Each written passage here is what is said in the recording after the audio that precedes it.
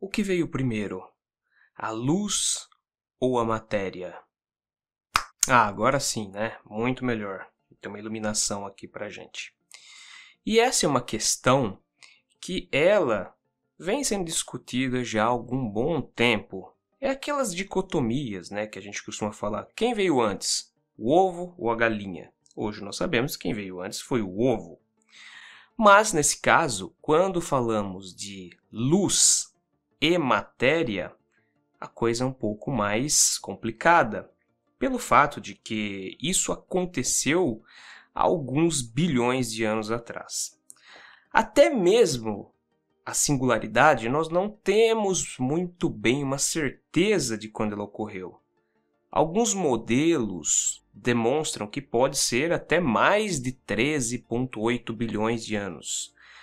Alguns outros modelos dizem que deve ser em torno de 15 a 16 bilhões de anos atrás. Então não existe ali uma certeza. E o grande problema é que nós não estamos falando aqui de décadas, ou de centenas de anos, ou de milhares ou milhões de anos. Nós estamos falando de bilhões de anos. E obviamente que esse número é muito grande para a gente fazer arredondamentos, porque a gente vai estar errando por muito. O limite, no caso do cálculo, ele é muito grande. Então, o grande problema aqui é conseguir determinar as eras do universo. Nós já temos algumas estimativas. Nós sabemos que o primeiro momento após a singularidade, alguns microsegundos após a singularidade, no caso, ocorreu a era de Planck, onde tudo era um tanto quanto inflado. No caso, a temperatura, a energia ali era muito alta. E um grande problema aqui é que a maioria das pessoas imagina que o Big Bang ele foi o quê? Uma explosão, mas na realidade não foi uma explosão, foi uma expansão. Ou seja, o universo ele começa a se expandir e, consequentemente, ele começa também a esfriar. Durante toda a expansão, ocorre um processo de resfriamento do sistema, porque você tem o aumento do volume. E isso é bastante interessante pelo seguinte fato: quando nós observamos os modelos atuais, ou seja, já existe o universo, nós consideramos o seguinte fato: existem as partículas que vão se chocar, seja com uma parede, seja com gases, seja com o que for, com elas mesmas até mesmo. O que, que vai acontecer? Você tem ali um processo que leva ao aquecimento dessas partículas devido ao fato de que você está transmitindo energia de uma para outra. A gente tem as leis da termodinâmica que demonstram isso. Ou seja, um sistema, quando ele recebe energia, ele aumenta sua entropia. Contudo, com o passar do tempo, essa entropia tende a diminuir e, obviamente, começa a tender ao zero absoluto. É claro que eh, nossos sistemas não vão para o zero absoluto porque a gente está num sistema ainda que a entropia é grande. E dessa forma, então, tudo está em movimento, tudo está deslocando, tudo está distribuindo energia entre si.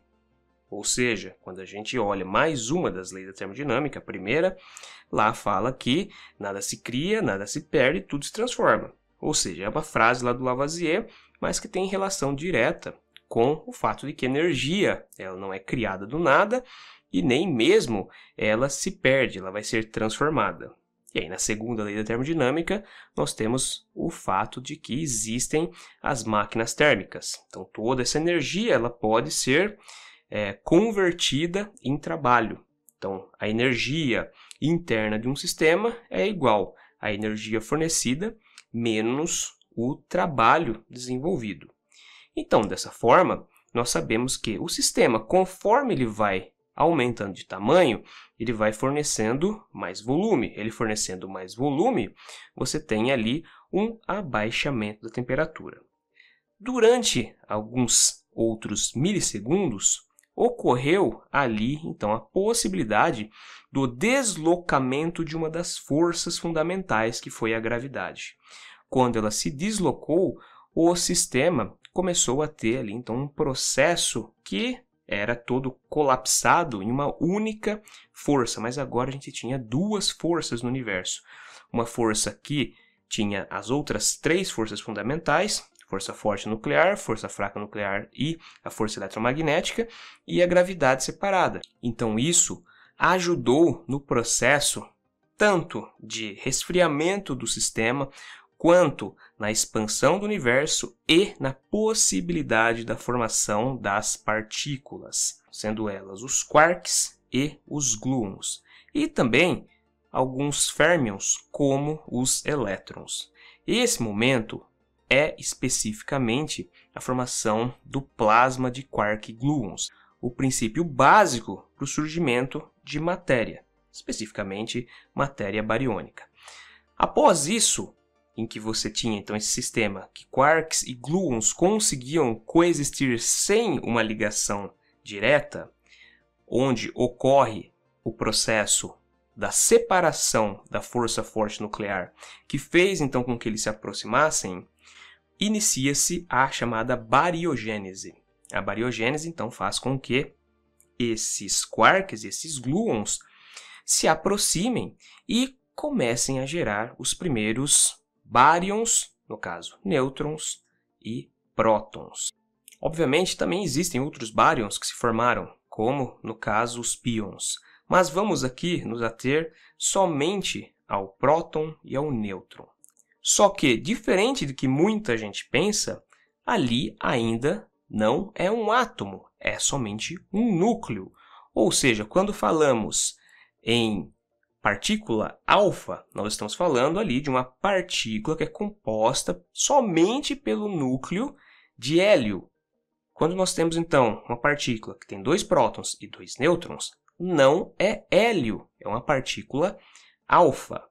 Para ser hélio, precisa possuir elétrons. Sendo assim, esses corpúsculos que se formaram eram compostos somente por prótons e por nêutrons. Consequentemente, esse é chamado de processo de nucleossíntese. Dessa forma, então, nós temos a era da nucleossíntese acontecendo aqui. Após essa era, veio a chamada era de recombinação, em que os elétrons começaram a ser absorvidos por esses núcleos. Obviamente que esses elétrons eles não entravam em contato com o núcleo, mas sim eles eram aproximados e chegavam numa distância ótima. Se a gente puder imaginar que é um corpúsculo que pode ser medido, então seria possível determinar que chegava ali numa órbita quântica, ou seja, haveria uma distância baseada numa energia e esse elétron ficaria ali naquela órbita. Estava sendo formado então os orbitais. Quais foram os primeiros átomos, então, que surgiram no processo da recombinação? Foram, basicamente, as espécies de hidrogênio. O prótio, o deutério e o trítio. Essas espécies de hidrogênio são a base fundamental para o surgimento de outros elementos químicos. No caso, o surgimento posterior do hélio, na sua forma hélio 3 e hélio 4, obviamente. Mas, especificamente, então, esse processo para chegar até a recombinação é algo bastante demorado no que se refere ao próprio universo naquele momento. E por que isso? Porque tudo se inicia lá na singularidade. Alguns microsegundos já era suficiente observar a formação do que? Já era possível observar a formação de quarks e também dos gluons, levando à constituição do plasma de quark gluons. Só que, para que formassem os primeiros átomos, levou mais ou menos 380 mil anos. E aí que entra um dos fatos mais interessantes, que é, nesses momentos em que nós temos iniciais da formação das primeiras eras, como por exemplo a era em que nós temos os quarks e os gluons formando esse plasma, todo o sistema era opaco. Sendo opaco, ali ocorria uma alta densidade. E essa alta densidade fazia com que as partículas que podiam ser formadas, como por exemplo os férmions e também os bósons, eles estivessem presos dentro desse sistema e também pelo fato de que o volume do universo ainda era muito pequeno. Consequentemente, os fótons eles eram rapidamente absorvidos pelo sistema, principalmente porque até mesmo a força eletromagnética ainda não havia sido separada tão claramente quanto, por exemplo, a gravidade e a força nuclear forte. Sendo assim, ainda não existia luz visível, somente radiação. E no caso, essa radiação era radiação em microondas. E é daí então que nós temos a radiação cósmica de fundo em microondas. Isso quer dizer o quê? Que nós não tínhamos luz como ela é apresentada para a gente hoje no espectro visível. E isso é bastante interessante porque a gente sempre imagina que o Big Bang se inicia com uma explosão. E quando nós pensamos explosão, nos vem à cabeça a liberação de luz e um monte de faíscas. Mas essa expansão não ocorreu dessa forma. E é por isso que é difícil a gente imaginar como ocorre o processo de surgimento do universo. Porque quando nós pensamos no universo, nós pensamos em estrelas. E as estrelas são o quê? São fontes de luz, fontes de energia, fontes de radiação eletromagnética. Só que nesse momento não existiam luzes, muito menos átomos. Nem mesmo as partículas estavam unidas. Ocorreu simplesmente uma expansão de energia. E aí que vem o problema, porque sempre que nós pensamos em energia, nós assimilamos energia com calor. E energia com calor nos vem a ideia de fogo, que nos vem a ideia de luz. Mas não necessariamente ali então havia essa luz. O sistema ele era completamente opaco e a radiação se apresentava na forma de microondas. Isso quer dizer o que? Se são microondas, elas têm uma frequência extremamente alta. Elas tendem a ter então ali uma energia muito grande no que tange a própria radiação. Dessa forma, então, podemos dizer que a matéria ela surgiu antes da luz. Por quê? Porque o surgimento dos primeiros átomos de hidrogênio ocorre há 380 mil anos após o início da expansão, ou seja, após o processo do Big Bang. Sendo que as primeiras estrelas provavelmente surgiram entre a 100 milhões de anos a 200 milhões de anos após o início da grande expansão. E essas estrelas foram o primeiro ponto de luz que existia no universo. Bom, pessoal, e como nós falamos sobre algo interessante em relação ao universo, vamos falar algo interessante também sobre a Insider. A Insider envia seus produtos até a sua casa utilizando esse tipo de pacote. Aqui atrás ainda existe um QR Code que vai te dar 10% de desconto numa próxima compra. Só que o mais interessante não é a embalagem de papelão, que é reciclável e tal, mas sim esse tipo de sacola em que vem as roupas da Insider. No caso, aqui dentro existe uma tech t-shirt preta. E essa sacolinha, ela é muito boa porque até mesmo ela propicia a troca de gases. Ou seja, se você acabou de praticar um esporte ou você foi na academia e você tirou sua camisa, como essa aqui, uma tech t-shirt cinza da Insider, e você colocou dentro dessa sacolinha, essa sacolinha também vai ajudar a trocar o quê? A trocar os gases provenientes da água do suor e também da, do próprio material oriundo das excretas das bactérias. Então, você guardando aqui dentro a sua tech t-shirt, também vai ser possível ela sair mais sequinha do que seria, por exemplo, guardar dentro de um outro invólucro, seja ele de papel, seja ele de plástico, tem que ser algo que a camisa possa, vamos colocar entre aspas, respirar. E a Insider ainda, ela ajuda aqui o canal Ciência Química, oferecendo para vocês um cupom de desconto de 15%. Esse cupom é o Ciência Química 15, tudo junto e sem acento. Então, quando você vai fazer a compra lá no site deles, você, ao finalizar, você coloca esse cupom e isso vai ajudar você a obter desconto e também, obviamente, ajudar o canal Ciência Química. E outro fato interessante, eu, quando estou aqui gravando os vídeos, eu fico com o softbox aqui na minha frente e outro aqui do lado. E, obviamente, aqui o quarto fica todo fechado, o que faz com que o ambiente fique bastante aquecido.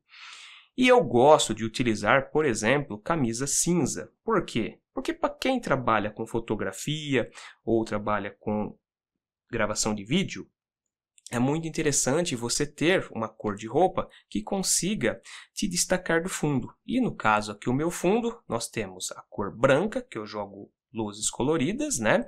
E também tem essa camisa preta de algodão, a qual eu usava antigamente. É um algodão muito bom na realidade. É um algodão que se considera como premium. Na realidade não existe algodão premium. Continua sendo algodão, que é uma fibra orgânica e que acumula 50% de água quando comparado com o tecido modal com elastano.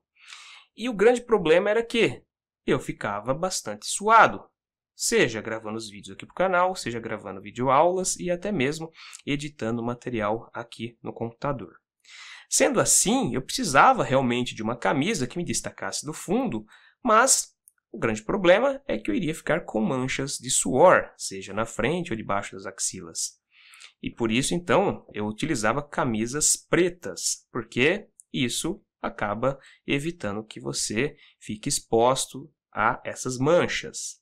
Só que com essa camisa da Insider é possível eu gravar esses vídeos e não ficar com essas manchas. Então, isso ajuda muito, porque o aspecto do vídeo melhora e eu também consigo me sentir melhor para poder gravar aqui os vídeos para vocês. Então, se for possível, deem uma olhada lá no site da Insider, porque vocês estão na semana do cliente, ela foi prorrogada e vocês conseguem então obter até mais de 15% de desconto lá, podendo chegar a 30% de desconto e é um desconto muito bom para você ter esse material que sim, esse material é realmente prêmio e vale muito a pena. Pessoal, muito obrigado por vocês viram o vídeo até aqui. Peço, se for possível, que vocês curtam o vídeo, se inscrevam no canal e cliquem lá no sininho para vocês sempre receberem novas notificações de vídeos científicos como esse. Antes de ir embora, não esqueçam de hypar o vídeo e também de compartilhar e deixar algo escrito aqui embaixo dizendo se você já conhecia esse aspecto da natureza que levou a matéria a existir antes da luz visível. Antes de ir embora, também dá uma olhada aqui que eu vou deixar na descrição do vídeo, logo em cima e também no comentário fixado, o cupom da Insider, o Ciência Química 15, que isso pode ajudar vocês a comprar com um bom desconto uma camisa ou qualquer produto que você acha interessante da Insider. Muito obrigado pela sua companhia e até o próximo vídeo.